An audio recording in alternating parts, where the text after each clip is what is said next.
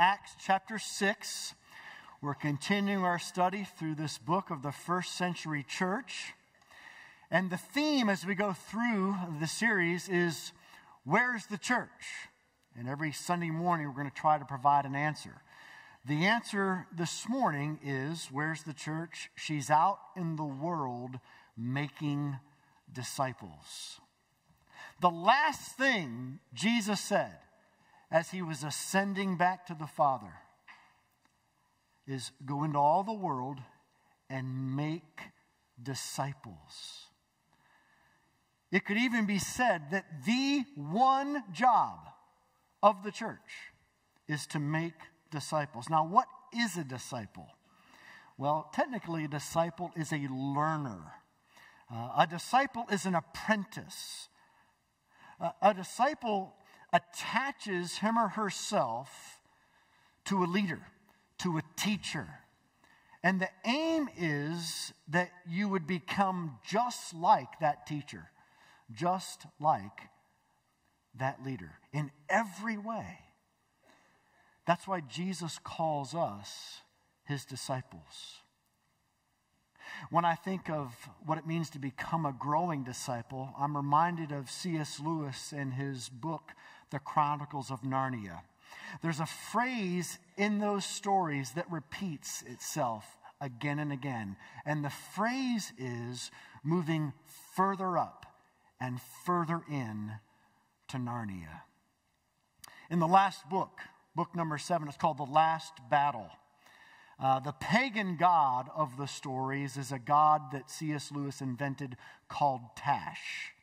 And at the end of the stories, the warriors of Tash are attacking Aslan. Aslan's the king, the lion, the Christ figure. And the warriors of Tash are attacking the warriors of Aslan. And one of the children from our world is named Peter. He's the king. See the, the symbolism there? Peter, the, the church.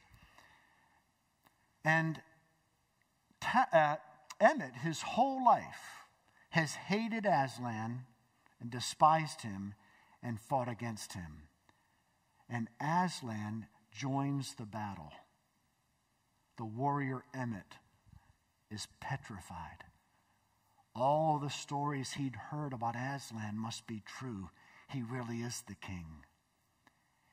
And he was expected to lose his life. But Aslan, in the midst of the battle, came up to Emeth breathed on him. And listen to what happens next. Emeth says, He breathed on me and took away the trembling from my limbs and caused me to stand upon my feet. He welcomed me, this enemy, into Narnia. And after that, he said, We should meet again one day, but that I must go further up and further in. That's what happens in the Christian life. Jesus comes to his enemies and breathes on us and gives us his spirit and takes away our sin and strengthens our weak needs. And he says, We will meet again one day. But until that time, keep moving further up and further in, further up and further in. And all through the stories, the children and the um, members of, of Aslan's country are constantly invited to go further up and further in. You know, it happened in the Old Testament. It wasn't called Narnia, it was called Canaan. In Old Testament Israel, the church in the Old Testament was to go further up and further in to the promised land of Canaan. And in the New Testament, the church, the true Israel, is called to go further up and further in the promised land of grace. In Acts 6 and 7, Luke, the writer, describes how the number of converts are increasing. And three times in the passage, he uses the word disciple. And what we learn from this passage is, is you don't have converts and then the people that are really committed and really want to sort of make a difference, they're disciples. And then there's some people who are converts, but discipleship is sort of optional and they opt out. No, the Bible knows of no such thing.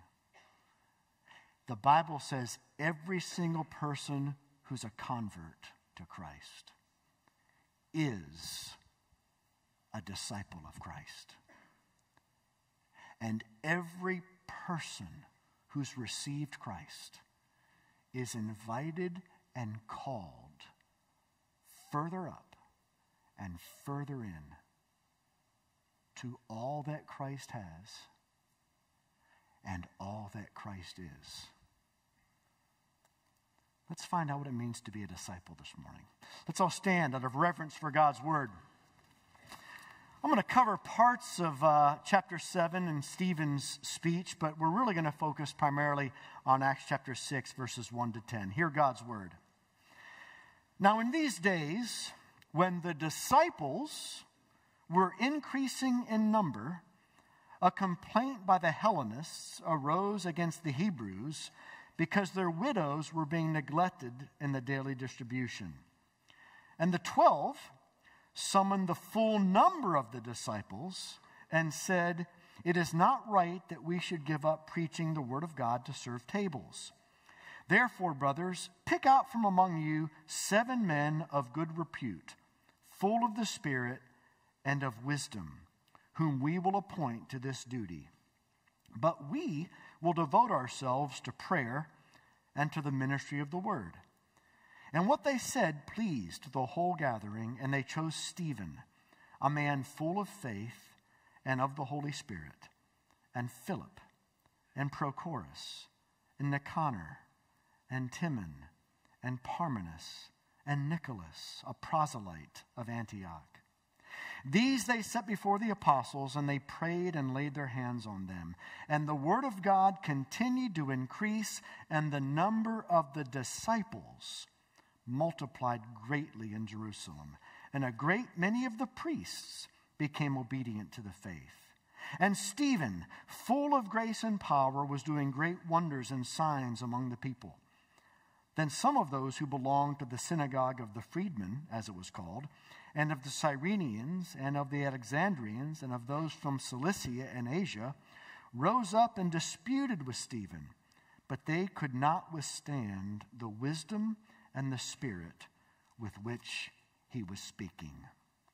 May God bless the hearing and teaching of his inspired, infallible, inerrant, and authoritative word.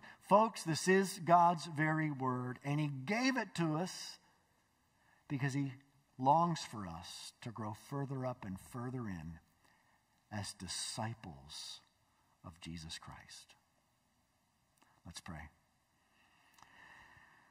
Father, thankfully, disciples aren't people that have it together. Disciples aren't just the really committed, but anyone who knows Christ personally and is resting in the finished work of Jesus. We are, by definition, disciples. So lead us, Holy Spirit, this morning further up and further into Jesus. For your praise and glory. Amen. Go ahead and have a seat. So, Luke writes Acts under the inspiration of the Spirit so we might become acquainted with the first century church. But Luke also write Acts under the inspiration of the Spirit so that we might learn to imitate the first century church. What happens in this passage, many people calls the creation of the first diaconate, the creation of deacons.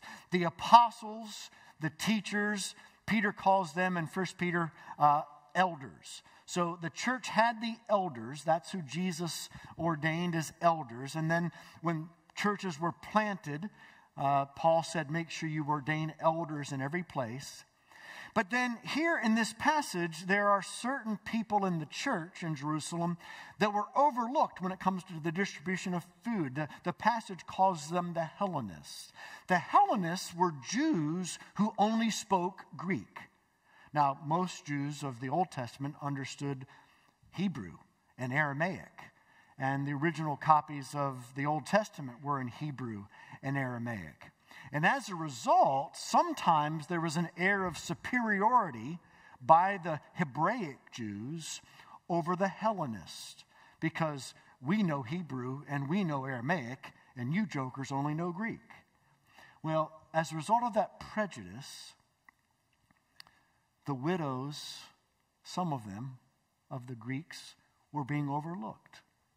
And the elders said, This is very important, but we have been called clearly to primarily a ministry of prayer and preaching and teaching the word. So we need people to serve. That's the Greek word for deacon. We need deacons. Now, as Luke writes about these deacons and he explains how the elders went about um, ordaining the deacons, there are also more general principles that apply to all of us.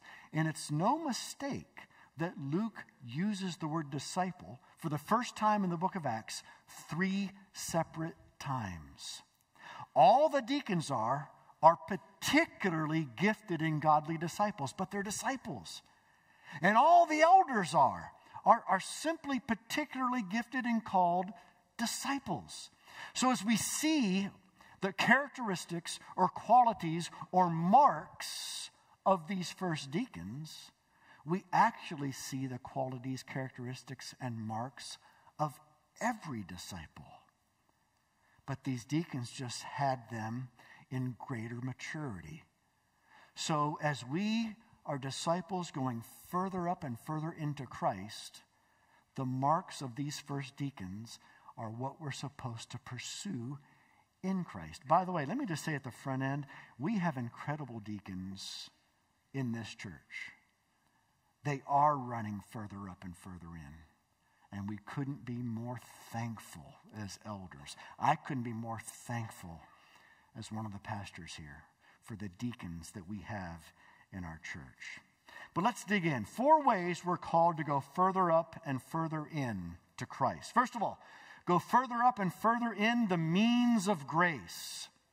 I said the, the elders, the apostles, are models for us as well. You know, Christ chose them as disciples, that they would learn of him, they would be his apprentices. And then he said to those 12, You go make disciples as well. And all the way down, the church is to be involved in making disciples. So, what can we learn about what we're supposed to pursue by looking at the elders and deacons? Well, in verse 4, the elders, the apostles, were devoted to prayer and the ministry of the word. Now, in many corners of the church, these are called the spiritual disciplines. And that's fine. I don't have a problem with that. But I particularly like to call them the means of grace because I have such a tendency to put myself under performance with God. Maybe you can relate to that. I, I have such a tendency to think that if I engage in the disciplines, then God's going to love me more. But if I fail to engage in the discipline, disciplines, God's going to love me less and maybe not even bless my appointments that day. I don't know if you wrestle with that, but I do. By changing the semantics from the spiritual disciplines to the means of grace, my focus is changed from performance to the promises. And I'm led to recognize that I don't engage in the spiritual disciplines because I'm trying to work real hard to have it together. I engage in the means of grace because I'm a broken, empty vessel that desperately needs to be filled. So that if I do engage in prayer and I do engage in the ministry of the word, reading it, memorizing it, studying it, there's no room for pride because the whole point of it being a means of grace is that I'm, I'm an empty vessel. And the only conduit that God uses to fill this empty vessel are the means of grace. It's like God's rain showers, and I simply receive the rain. That's what the means of grace are. And he talks about the means of grace of prayer and the means of grace of the word. Look at verse 7. It says, The word of God continue increase, and the number of the disciples multiplied. Now, Luke didn't just write Luke, Luke also wrote the Gospel of Luke. And Luke, uses the same terminology here in this chapter when he talks about the disciples increasing and multiplying and the word increasing and multiplying, as Jesus used, recorded by Luke in Luke chapter 8, the parable of the soils. Jesus says, Some of the word, the seed, fell on good soil. And the seed, the word sprouted and bore fruit 30, 60, and a hundredfold. Do you hear the invitation of Jesus to spend time in the Word? Not because you want to be good, not because you're going to be more committed, but because the Word is the seed of God. And He promises that it'll bear fruit in your life 30, 60, and a hundredfold. Prayer and the Word are means of grace for starving souls. The table is set. We do nothing to set the table. All we do is come and eat. That's why I love means of grace. In Acts chapter 20, verse 32, Paul says, I commit you to the word of his grace, which is able to build you up. The word of God is able to give you life. Are you looking for life? Are you looking for energy? Are you looking for hope? Are you looking for peace? Are you looking for anything? The Word of God is what gives it to you. It's the fuel that makes the Christian life go, along with prayer. It's the like oxygen to a brain, so are the means of grace to the Christian. It's what leads us further up and further in to Christ. Our daughter, Hannah, uh, introduced us to an organization, a ministry that I, I hate to admit I knew nothing about. Uh, when she was at Auburn, she and a friend of hers started uh, International Justice Mission at Auburn University. And I never knew what International Justice Mission was, but it's a nonprofit that combats uh, sexual trafficking, but also other forms of violence and oppression against the poor. Uh, the founder of IJM is a man named Gary Haugen. Gary Haugen is a Harvard grad. He also graduated from the University of Chicago Law School. He's no dummy. He was uh, hired by the United States Justice Department to actually be the officer in charge investigating the Rwandan genocide. After he had done all that, he started IJM. And when he started IJM, he laid down a principle that every staff member in every office around the entire world, when they report to their desk, the first thing that they are offered, offered like you will do this, is 30 minutes to spend time in the Word, to spend time with Jesus. They're, they're on the clock, they're getting paid the first 30 minutes to spend time with Jesus. Once a quarter, every IJM office has a quarterly spiritual retreat where they get away for fellowship, silence, study. And then every IJM staff member is given one day a year to take a private spiritual retreat. That may seem like a luxury. Some of you are thinking, I have a company, but I can't afford that. Well, Gary Haugen's been around the world. And he said this I've learned that prayerless striving will only lead to exhaustion. He says, I've learned just how crucial it is to settle my soul in the presence of Jesus every single morning.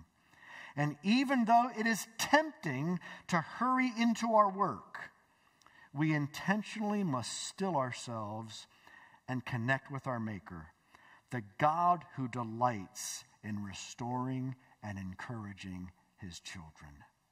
See, that's the means of grace. The means of grace, prayer and the word, are the conduits by which the Father encourages you and gives you life. It is not, you losers better do this, doggone it. It's, do you realize? Do you realize the opportunity the Father gives you to drink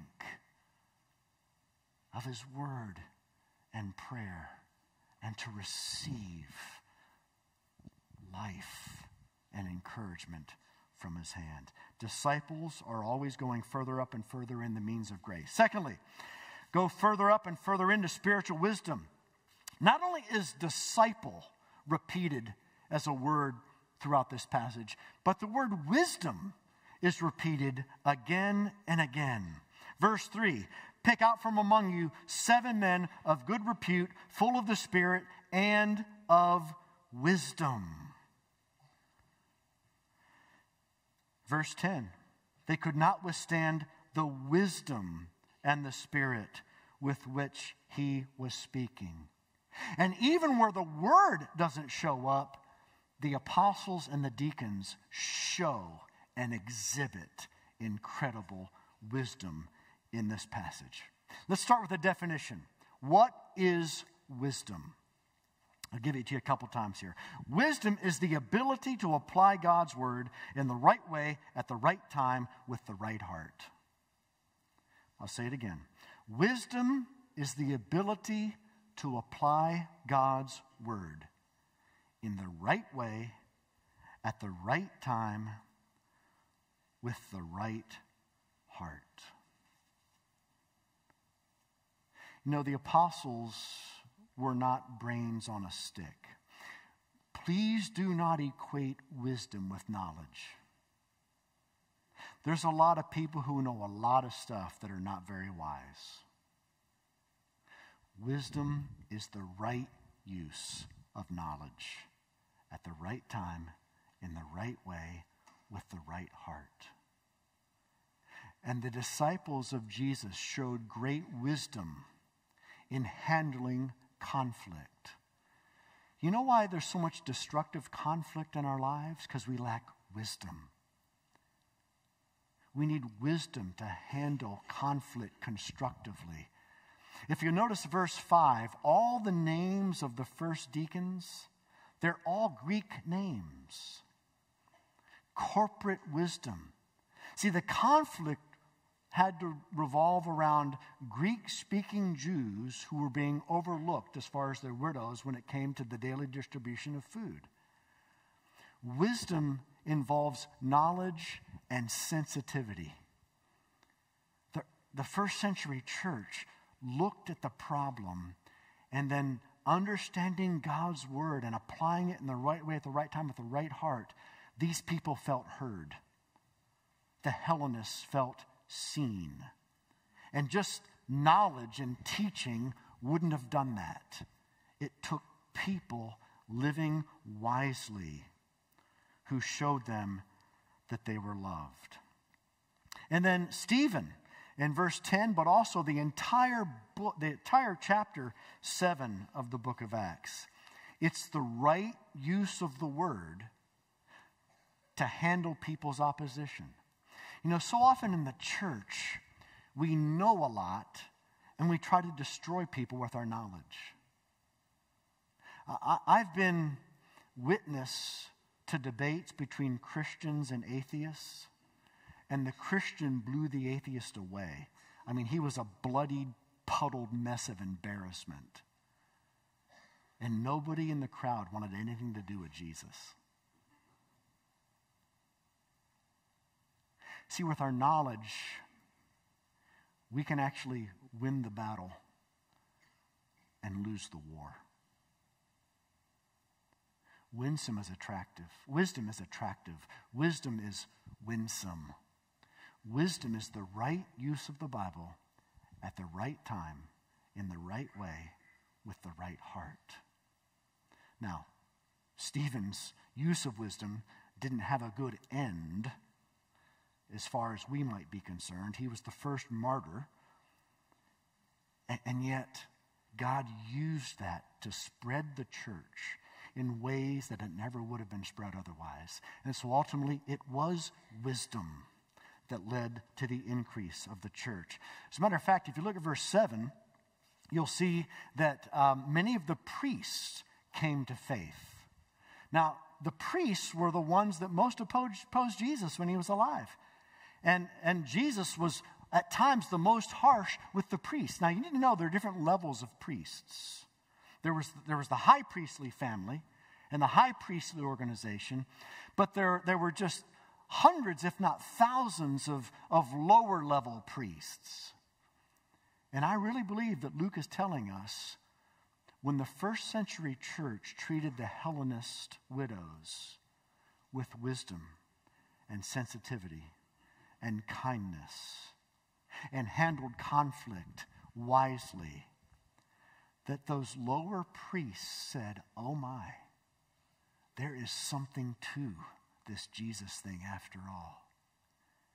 And many of the priests came to Christ because of the Spirit using the wisdom of the elders and the deacons and the church.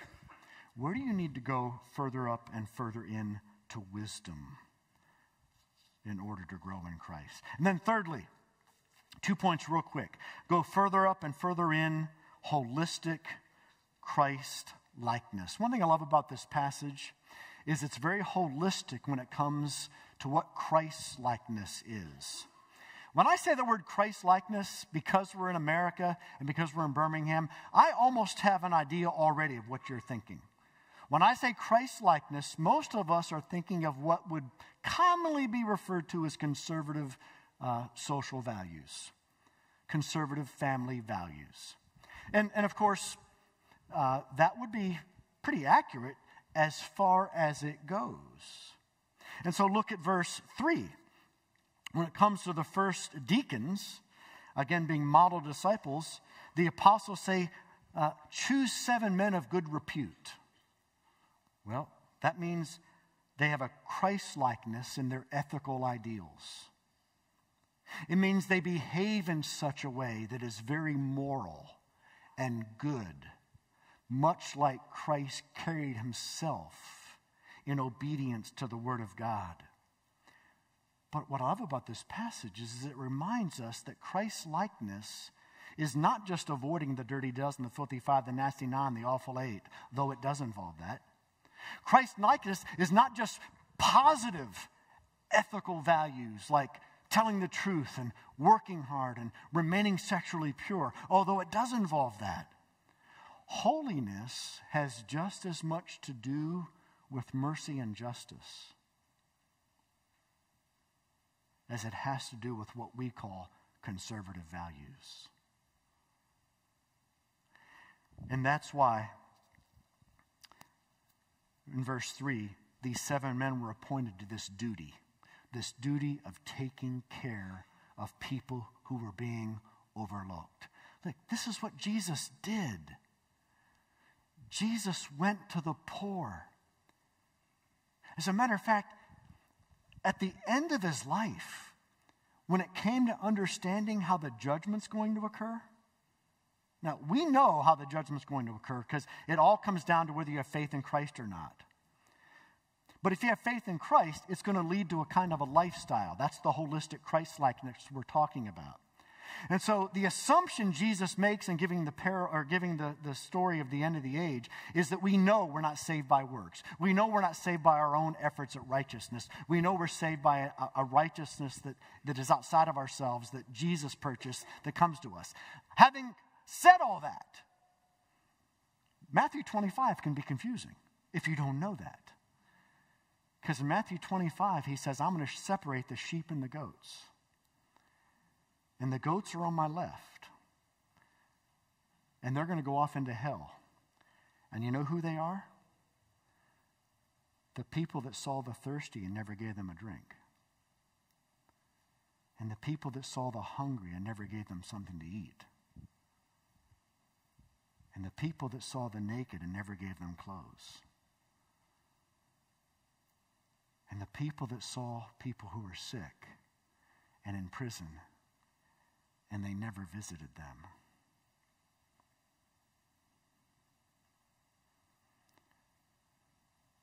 Christ likeness is holistic.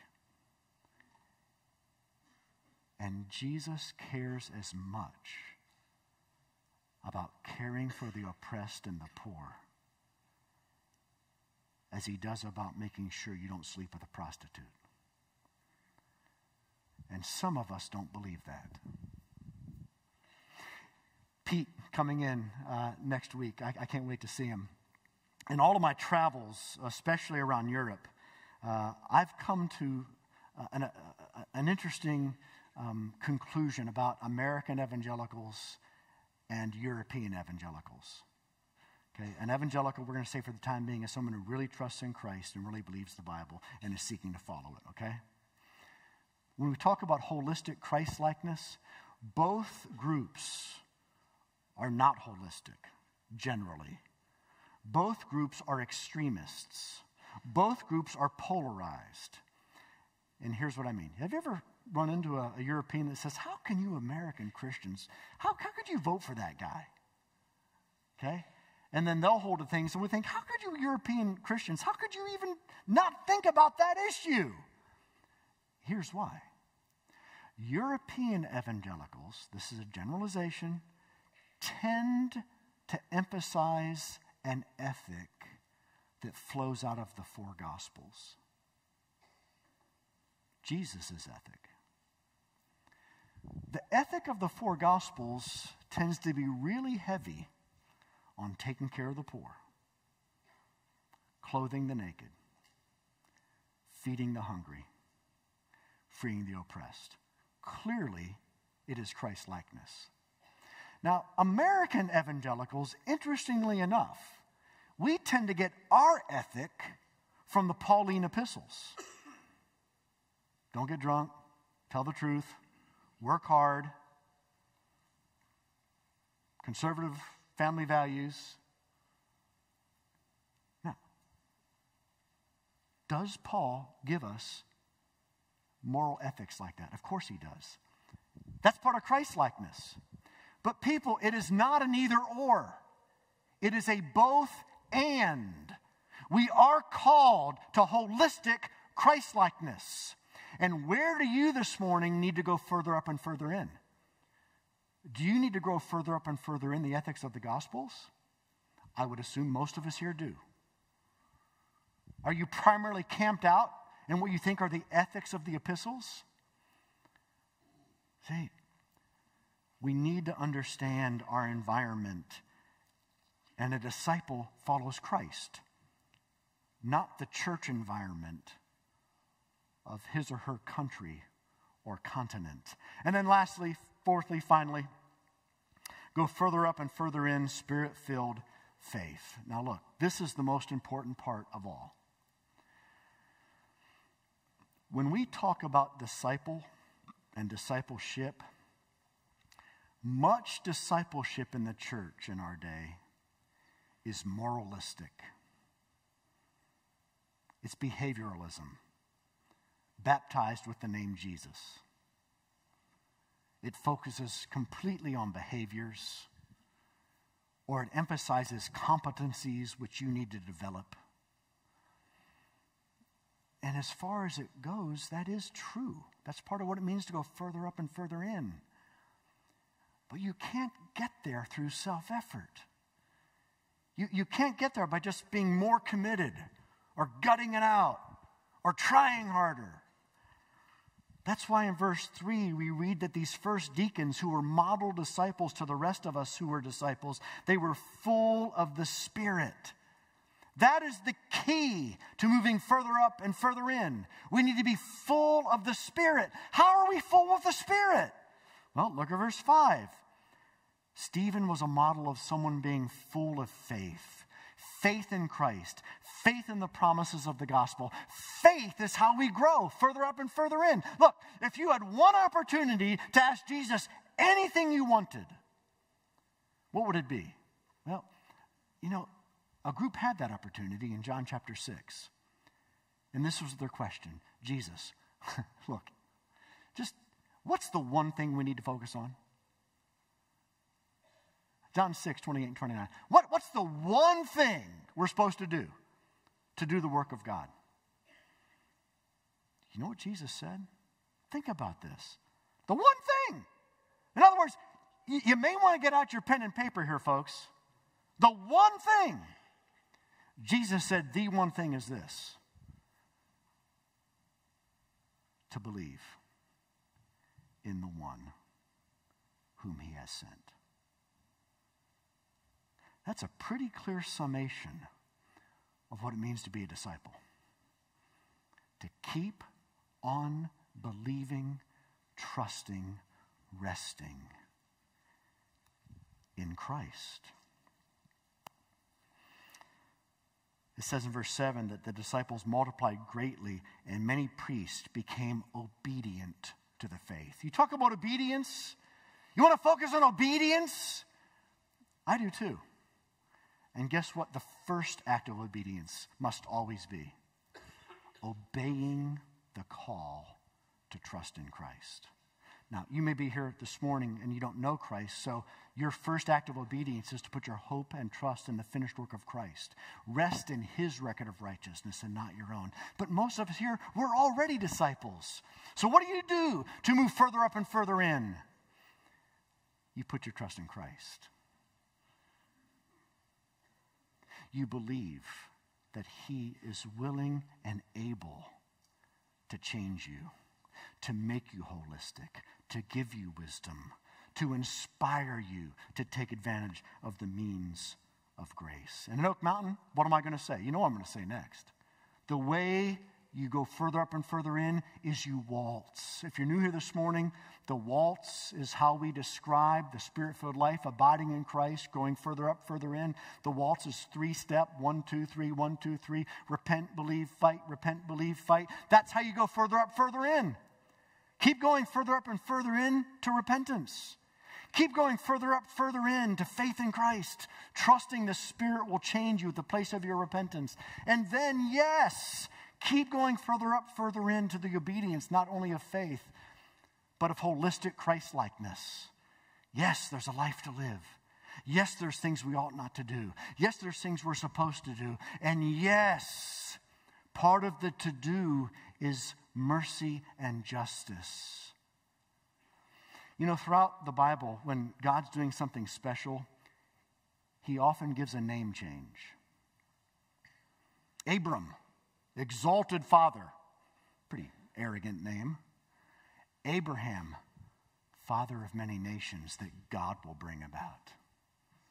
Jacob, deceiver. I'm going to get what I want by hook or by crook. Israel wrestles with God things just got vertical. And it happens on and on. Simon means to hear, Peter means rock. Maybe it's time for a name change this morning. What's your name? I know what God wants to change it to. Not convert, not churchgoer, not even believer, but disciple. If you know Christ, you're a disciple. And Jesus is calling you further up and further in to all that he has for you and all that he wants from you. Let's pray. Father, uh, we confess that we fail so often to be the disciples that you've called us to be. So, Lord, help us to really spend some time this week reflecting on this passage. God, where do we need to go further up and further in the means of grace? Where do we need to go further up and further into spiritual wisdom? God, where do we need to go further up, further in holistic Christ likeness? And God, we all know we need to go further up and further into faith. And so, Jesus, have mercy on us. We are your disciples, and you love that. You delight in that. And so, Jesus, keep discipling us for your glory and for our good. Amen. Let's all stand here. The benediction. We, we leave this place this morning with the promise and the hope that Jesus.